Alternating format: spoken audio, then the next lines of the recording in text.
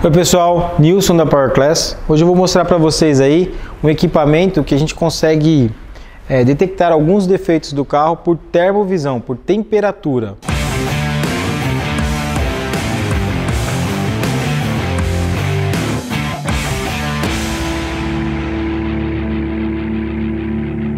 É, vamos dar uma olhadinha aí, eu vou mostrar esse carro está falhando um cilindro, tá? E eu quero mostrar para vocês que a gente não precisa desmontar praticamente nada aqui para achar o defeito, tá?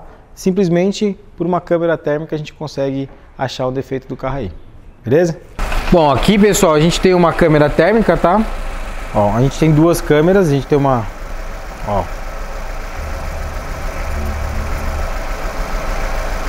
Olha que ela tá se regulando aí. Aqui lá tá mais quente. Ó, esse carro tá falhando um cilindro e na saída do escape, tá vendo aqui, ó? A gente consegue detectar qual cilindro tá falhando pela temperatura do próprio escapamento. Tá vendo aqui? Que é o cilindro número 2, tá? Fora isso, pessoal, vou mostrar para vocês o que, que é capaz de fazer também aqui, tá? Vou chegar na parte de trem de força.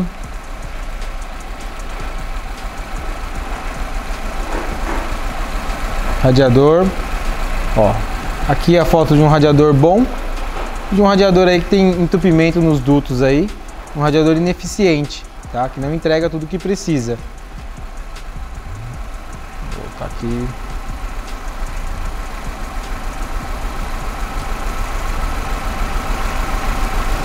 Polir rolamento, dá para detectar se tem algum rolamento com problema também. Vou pegar aqui um rolamento de alternador, por exemplo, ó. Aqui um rolamento bom, um rolamento ruim. Por temperatura, nós conseguimos aí obter alguns, alguns diagnósticos aí muito mais fácil do que ouvindo o barulho ou até mesmo desmontando para achar o defeito. No caso aqui a gente já sabe que tem um defeito no cilindro 2, tá? E nesse cilindro aqui a gente vai ter que, claro, tirar a vela, já sabe aonde está o defeito. Tira uma vela, dá uma olhada em compressão, bico, etc. Tá? Mas ele já vai te dar o caminho para você chegar lá. Fora isso, dá para conferir onde tem curto, um chicote, você vai vir em cima do chicote, se tiver algum curto, alguma coisa que estiver esquentando o fio, você vai achar exatamente onde está o defeito. Bom pessoal, esse equipamento ele economiza muito em tempo da oficina, tá? Então assim, a gente trabalha com hora trabalhada em diagnóstico. Então a gente diminui o tempo de oficina. Ele tem um investimento em torno aí de, de 5 mil reais, de 4 a 5 mil reais esse equipamento, tá? E ele te, te abaixa o tempo de, de, diagnóstico no carro. Você chega mais rápido no diagnóstico. Isso é bom para a oficina, que consegue trabalhar mais rápido, e para o cliente também, que às vezes paga até um pouco mais em conta para poder chegar num diagnóstico mais, mais legal aí e com, com agilidade. Bom, sem o equipamento, a gente teria que, por exemplo, entrar com um equipamento de um scanner.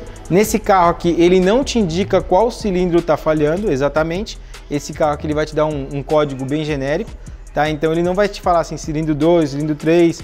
Então você, nesse caso aqui, tá? Num caso de um carro que é um pouquinho mais avançado, que é uma bobina por cilindro, normalmente ele te fala até o cilindro que está falhando com equipamento de injeção, com scanner, tá? Nesse caso aqui ele não vai te falar. Então nesse caso aqui você vai ter que achar o defeito. Ou você vai tirar os cabos de vela, vai chegar, uh, vai, vai medir compressão do cilindro, dos cilindros, é, ou você vai desligar algum para poder achar aonde está o defeito, correndo o risco até de tomar um choque, às vezes, etc. Tá? Aqui você encontra muito mais rápido sem ter que desligar nada e correr o risco, às vezes, de puxar um cabo de vela de repente e quebrar o cabo de vela. Bom, pessoal, esse, esse equipamento aqui a gente teve num caso aqui na oficina que teve uma, até um HB20 que chegou aqui, tá? Esse carro passou por diversas oficinas, ninguém conseguia achar o defeito dele, tá? E esse carro esquentava, e ele só esquentava em determinado, em determinado tempo de uso. Parado, ele não esquentava, ele só esquentava em determinado tempo. O cliente andava, demorava 3 horas para esquentar e ninguém achava defeito do carro. Tá? Parado na oficina, o carro é, funcionava normal. A gente desmontou a frente do carro e colocou o equipamento ali para poder fazer é, uma varredura na parte do radiador. Tá? E a gente encontrou mais da metade do radiador entupido. Tá? Nesse diagnóstico foi muito mais fácil do que ter tirado o radiador, mandado varetar ou abrir o radiador para poder verificar se era o defeito. Então a gente achou com muito mais facilidade um defeito onde a gente tinha que abrir o radiador simplesmente para ver. Bom pessoal, aqui vocês acompanharam tá? É, algumas das funcionalidades, que ele tem várias funcionalidades desse equipamento, que é o termovisor da Snap-on, tá? É, isso é uma das coisas que a gente consegue fazer com ele. Dentro de várias aí, que tem dentro dele até um mapinha de bom ou ruim, alguma coisa que ele te dá de ajuda aí para você trabalhar com ele. Tá? É, um é um equipamento muito usado lá fora que está chegando no Brasil agora. Tá? A Power Class já disponibiliza tá, o diagnóstico com esse equipamento. É, pessoal, não esquece, se precisar de mão de obra especializada, Power Class não esquece de seguir as redes sociais da PowerClass, procurar lá PowerClass, você vai achar todas as redes sociais. É, canal da Peça, obrigado pela oportunidade. Inscreva-se lá no, no, no, canal da Peça. Não esquece de ativar o sininho, beleza? E um grande abraço para vocês aí.